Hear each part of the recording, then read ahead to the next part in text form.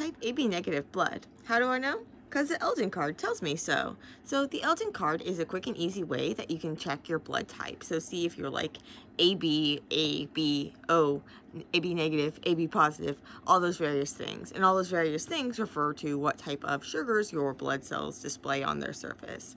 So these like glycans. So people with type A blood make one sugar, people with type B blood make another sugar, and people with type O blood don't make either of those sugars. They just make like the core base sugar, none of the like upgrades that the A and B have. And so if you were to give someone with say type O blood, AB blood, well now that that person is seeing blood that seems foreign to it because they have these sugars that the body doesn't normally make. And the way that they see this as foreign is by having these little proteins called antibodies that are going to bind to those foreign proteins and call in the immune system say, hey, something's going on here. These aren't ours. Whereas people that that make those blood sugars, they'll have they won't have those little antibodies against it um, because then they would be constantly attacking themselves, which would be bad. Um, and but if you were to give someone an incompatible blood type, so give them blood with a blood transfusion containing those sugars that they don't normally make, then they will attack it. And this is really bad if it happens in your body, but it's really helpful if it happens on the surface of a card. And so basically these cards have those little antibodies, those those proteins that are going to bind to those foreign things. They have them like the purified version of them just like stuck on the surface of these cards. Now if you stick a drop of blood on those and that blood contains the sugar that the antibody recognizes, this is going to cause that blood to clump up and agglut, which we call agglutination, and then you get these like clumpy things. But if the person doesn't have that blood sugar, well now there's nothing for that antibody to bind to, nothing for it to attack, and you don't get any clumping. And so this is the basis of how the cards work, and by taking advantage of this thing that we wouldn't want to happen in bodies, which is why we do this blood type compatibility testing before you were to give someone a blood transfusion. So now let's talk a lot more about the details of this, about these ABO blood types, although I have much more on it on another post, and about how you actually go about using one of these cards. It's super duper simple. They're about like five bucks a card. You can just order them online, um, and they're a fun and easy way to check your blood type. So, quick and dirty version of blood types. The AB and O, that refers to basically there's this ABO gene where you have there are three different versions of this gene. There's the O, the A, the B. Because you inherit two copies of this, so one from each of your biological parents, you have the chance of being, say, type AB. Um, or you could be type A, or you could be type B, or you could be type O. And so basically, it's like co-dominant. So what this means is that if you have even one copy of the type A blood, you're going to be at least type A. You might have like even if you you might have two copies of A, or you might have a copy of A and a copy of O. If you have a copy of A and a copy of B, well, then you're still type AB, but you still make that type A sugar. With type B, same sort of thing. If you are just type B blood, that could be BO or BB. Um, and if you are type AB, you're going to be making that B sugar as well. With type O, you don't make either of those sugars. And so these different sugars come because these different versions of that gene. Well, what this gene is actually has the instructions for making is a glycosyltransferase, so a sugar adder.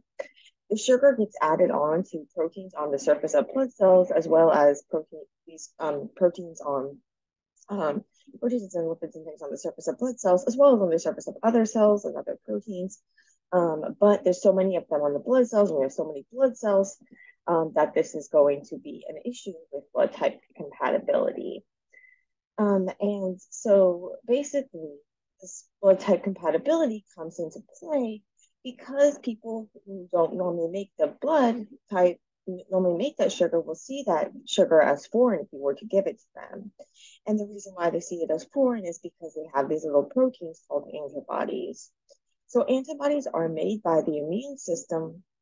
Um, and the more on how they're actually made and chosen in another post, but basically it's this random selection process where these immune cells are making different versions of these proteins that have these different variable regions and then if those variable regions recognize something that's foreign, then and those don't recognize anything that the person normally makes, those antibodies, those blood cells that make those antibodies will get selected for, and you'll get more and more of those antibodies made. In terms of some of the terminology we use, basically the antibodies are going to be those little proteins, and then the antigens are things that those proteins will bind to. Um, so basically, in the case of these blood types, the antigens would be the sugars on the surface of those blood cells. In the context of the blood typing, we can refer to these antibodies as agglutinins because they're going to cause the blood to clump up or agglutinate if that blood contains the sugar. So if it contains the antigen, um, which we can refer to as an agglutinogen. Um, and if you're wondering why would people have antibodies against the like a blood sugar if they at least theoretically never eaten people, well, that's going to be because there are like bacteria and things that make similar um, similar sugars. And so people might have antibodies against those sugars, even if they've never um, been exposed to the actual blood. Um, whereas people that actually make that sugar themselves, they wouldn't make antibodies against that sugar, even if they were to encounter it um, in the bacteria, from bacteria and things like that, from food, because then they would also be attacking themselves. And so the cells that make those antibodies will get selected against and they won't make a lot of them. And so then you get some sort of situation like this where people who have type A blood um, won't will have antibodies against type B, but not type A. Um, people with type B will have antibodies against type A, but not type B. And people with type O will have antibodies against both of those. And people with type B won't have antibodies against either of them. And if you're wondering about the type O, basically what happens is that they only make this core sugar, whereas people who have type A or type B, they, they take the sugar one step forward. They have a functional version of that glycosyltransferase, they just add different sugars. Whereas people with type O, they don't have a functional version of that glycosyltransferase, so they stop at this core sugar. People with type A and type B, they still make that core sugar, um, but most of it they modify, but a lot of it they modify, but not all of it. And so they're still used to seeing this core sugar, and so they won't have antibodies against the type of blood. And this leads to a complicated situation where you're trying to um, figure out blood typing. One way that you can figure out whether blood types are compatible is by mixing their blood um, in like a test tube. But the way that we do it um, on these cards uses these purified antibodies. So on the surface of each of these cards are stuck on little antibodies. Um, and then you add a drop of the blood, you mix it up, and you see if clumping occurs, and clumping will occur if that blood contains the sugar that those antibodies recognize. And remember that people who um, don't have, who don't make that sugar, won't have that sugar, and so you won't have the anything for the antibodies to attack, and so you won't get any of that clumping, any of that agglutination. And then there's a control well to make sure that the test was valid. So if you see clumping in there, then that's a problem. So a little more detail about how you use these kits. Um, as I mentioned, they're fairly cheap. When you get them, they'll come with like an instruction guide. It'll come with a lancet. This is going to allow you to puncture your finger to get the blood, a little dropper. So you, um, you have to add water to those little drops to dispense things, um, as well as these little, um, I don't know what you call these things, these little blood transfer things, um, these little sticks that you use to transfer the blood from your finger to the drop, and an alcohol swab to clean things up. So when you get these cards, you'll see we have these four circles, one for A, one anti-A, one for anti-B, one for anti-D. D is going to refer to that RH factor. Um, so as I mentioned, that's not a sugar, it's a protein, but people have um, either have a version, a functional version of it, or they don't. So they'll either make this of a gene for it, or they don't. So they'll make the protein, or they won't. Um, and this leads to the positive or the negative. Um, so RH stands for like the rhesus factor because they originally found something in monkeys that they thought was rhesus effects that they thought was similar, but it wasn't actually the same thing. But the the name stuck, so we call it the RH factor. Um, there are different versions of RH. The main one is RHD, and so this is why it says anti-D and then the control, which doesn't have any antibodies in it. Now these antibodies are stuck on firmly in the card and we need to get them, um, we need to actually add water to get them to actually like resuspend, so come off from being just like stuck clumpy on the card and actually get into a form where they would be able to mix with the blood and recognize it and also get like spread up, we can, so we can spread it out over the card.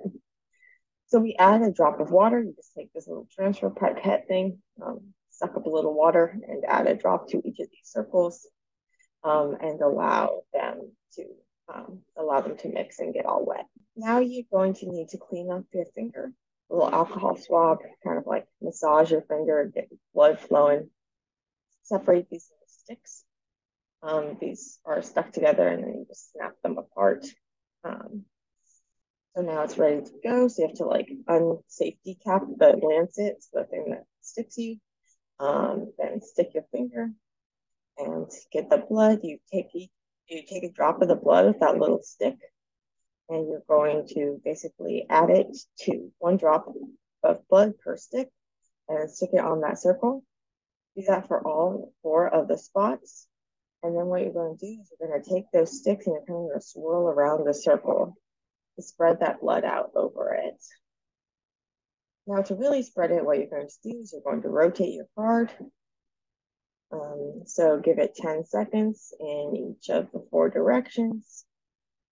Um, and you can see that there's clumps in some of these, but not clumps in other ones of these. Um, but yeah, it was really hard to turn off the camera at the end of that rotation. Um, but anyway, now you can should be able to see whether there whether or not there are clumps there. And so how you would then interpret this is that you can see there are clumps in there. So positive for A, clumps in there. So B, positive B, no clumps there. So negative for the RH factor. So that's AB negative. And no clumps in the control. So all worked well.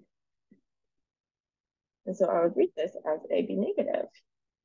And um, apparently that's pretty rare. It's about 1% of car patients have AB negative blood.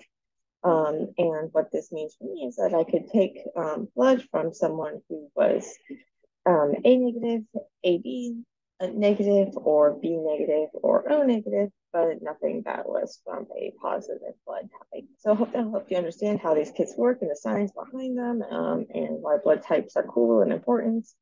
Um, and yeah, so go off and test your blood if you're able to. It's kind of fun and easy way to do some biochemistry and learn something about yourself.